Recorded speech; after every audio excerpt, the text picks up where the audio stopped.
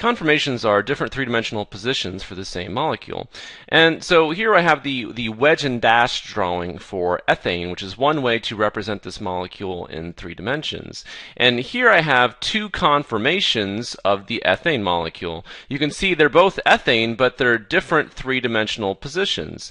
So let's first talk about how, how to go from a wedge and dash drawing to what's called a sawhorse projection. So these guys are called sawhorse projections down here. So let me go ahead and write that. This would represent, these two down here represent sawhorse projections.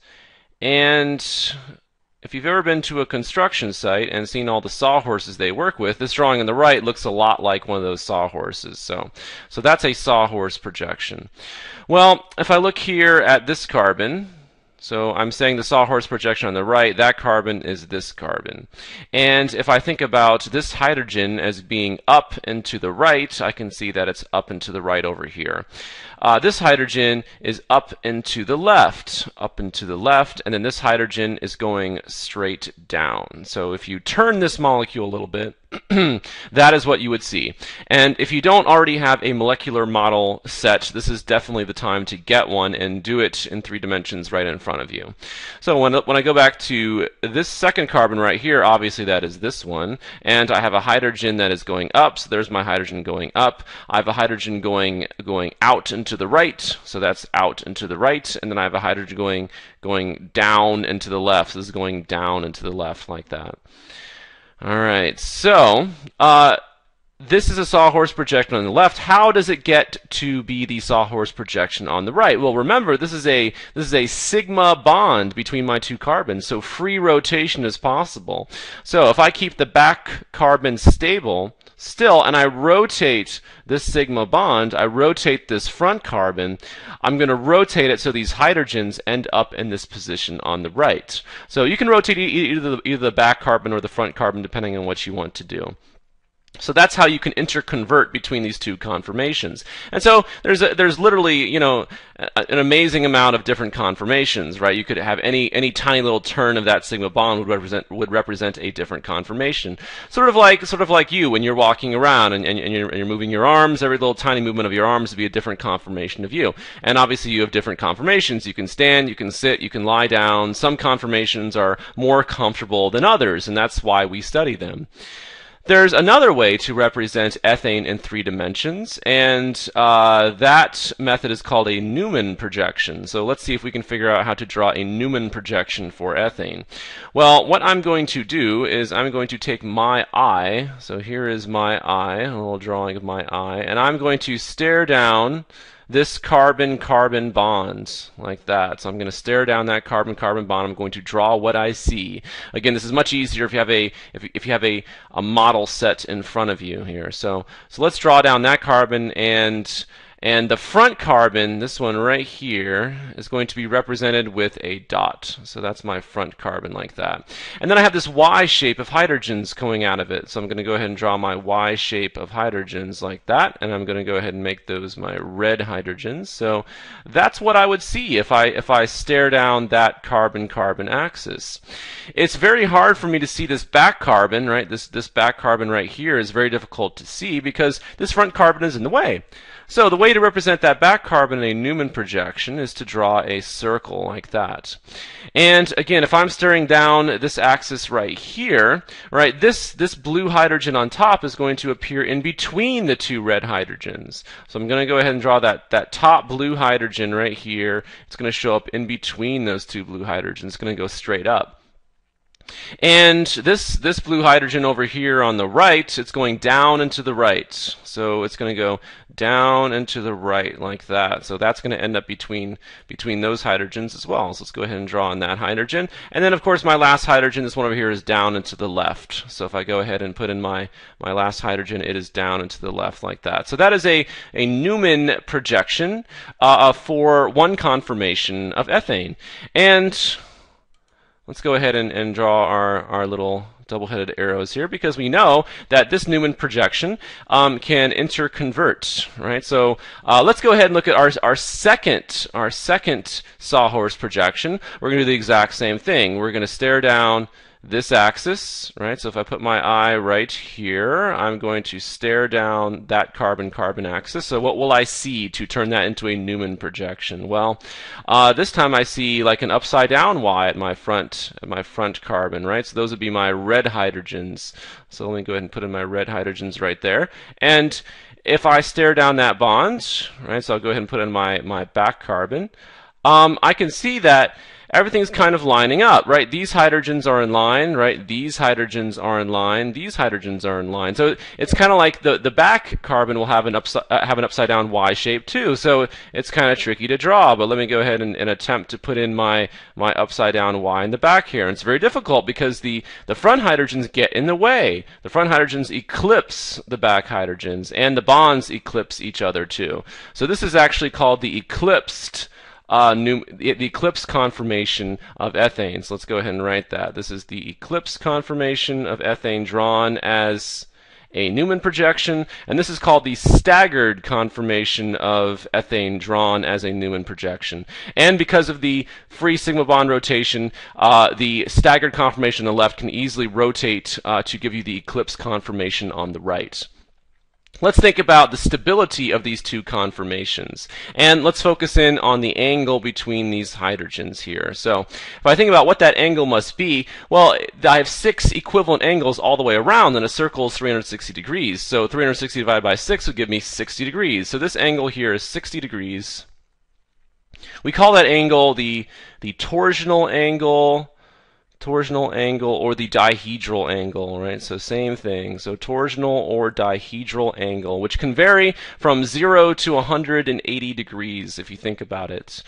And if I look at what the torsional or dihedral angle is for the eclipse conformation, well, there really isn't an angle because these two guys are eclipsing each other. So the angle is, is 0 degrees over here on the right side. And if I think about which of these two conformations is the most stable, uh, it's much better to stagger your hydrogens. And there are a couple ways to think about that. One way would be, well, the electrons in, in this bonds, right, are repelling the electrons in these bonds. So they, they don't like to be that close together. They like to be as far away from each other as they possibly can. And there's a little bit of steric hindrance con contributed by these two hydrogen atoms as well, but mostly it's the electrons in those bonds. And there is some, there are some quantum mechanics principles in here which we don't have time to go into. So uh, for all of those reasons, the eclipse conformation is less stable than the staggered conformation. Okay, so the staggered conformation is actually the, the most stable, so most stable of these two conformations. So most stable, the eclipse is the least stable. And we can actually quantify that using some numbers so we can calculate the potential energy. So real quickly, let's let's review what potential energy is from physics. If I'm holding a ball, right, so here's here's a ball and and then here's my hand holding a ball um, above the ground. And so here's my ground right here. The ball has some potential energy as a result of its position above the ground. So if you set the ground equal to zero potential energy or, or you know low potential energy, let's let's say it's zero, and then let's say by holding the ball a certain height above the ground, I get I get a value of 12 kilojoules of potential energy. When I release that ball, obviously it's going to fall to the ground, and that potential energy is converted into kinetic energy. So the ball is going to move from higher potential energy to lower potential energy. Let's think about the interactions of these hydrogens. Well, these hydrogens um, interacting, and, and, actually I should say the electrons interacting, are going to destabilize this molecule. And the calculations show that each, each of these interactions is about 4 kilojoules per mole of what we call torsional strain. So this is torsional strain here. When you, with your torsion angle equal to zero degrees, you're going to get some strain due to the eclipsing of those bonds. So four kilojoules of torsional strain, and I have three interactions, right? Three interactions where I get four kilojoules per mole. So I get a total of 12 kilojoules per mole. Um, higher potential energy for the eclipse conformation compared to the staggered conformation. So you could think about it, if you were holding the eclipse conformation, if you were holding it yourself and forcing it to stay in the eclipse conformation, and you let go, and the electrons in these bonds repel, then it's going to go to the staggered conformation, which is much lower in terms of potential energy. So the higher energy conformation is the least stable. The lower energy conformation is the most stable. And uh, most of the time, ethane will spend in the staggered conformation. So about 99% of the time you're going to get the staggered conformation, and about 1% of the time you're going to get the eclipse conformation. But it's always interconverting back and forth between those. Let's draw one more one more example. Let's do propane. So let's go ahead and, and look at the dot structure for propane. So there are my carbons, and then I have to put in some hydrogens here because I'm going to be drawing uh, Newman projections. So let's go ahead and put in our hydrogens, what they would have to look like like that. Now, let's say you're staring down the carbon 1 2 bonds. You're staring down this bond right here. So like that. So your eye is going to go your eye is going to go right right here. So let me go ahead and put my eye showing right right about here on my axis. So here is my eye. I'm going to stare down that bond. So what will I see when I do that? Well, the first carbon I represent with a dot like that. And I have a hydrogen going up. So hydrogen going up. So that's that's this hydrogen right here. That's this hydrogen going up. I have a hydrogen going down and to the right, and that's this hydrogen. So let me go ahead and represent hydrogen going down and to the right. And then I have a hydrogen going down and to the left over here. So a hydrogen going down and to the left over here like that. All right, so that takes care of that takes care of my first carbon right here. I go to my next carbon right here. I have to represent that with a circle. So I go ahead and put a circle behind it like that. And then let's see, where are my hydrogens? Well, I have a hydrogen going up and to the right. So I'll go ahead and put this in blue, a hydrogen going up and to the right. I have a hydrogen going up and to the left, hydrogen going up and to the left. And then I have a methyl group going down. So I have a methyl group going down like that. So that would be the staggered conformation for propane when you sight down the carbon 1-2 bond.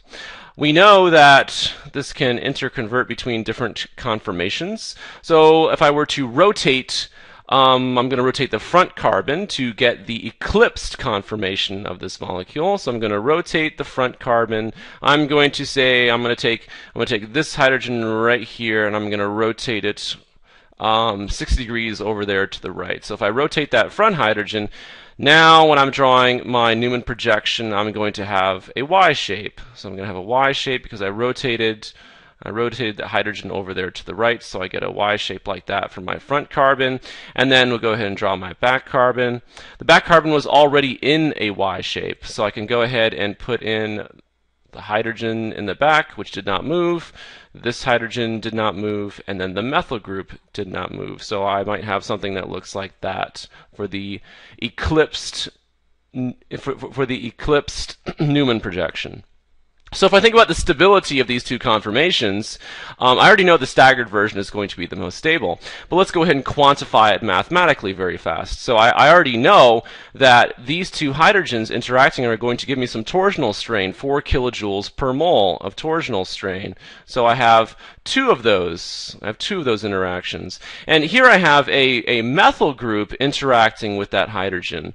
And since the methyl group is bigger, I'm going to get even more torsional strain. So I'm going to get I'm going to get about 6 kilojoules per mole for that interaction. So the total torsional strain for the molecule on the right compared to the left, well, that would be 14, of course. So 14 kilojoules per mole is my total torsional strain.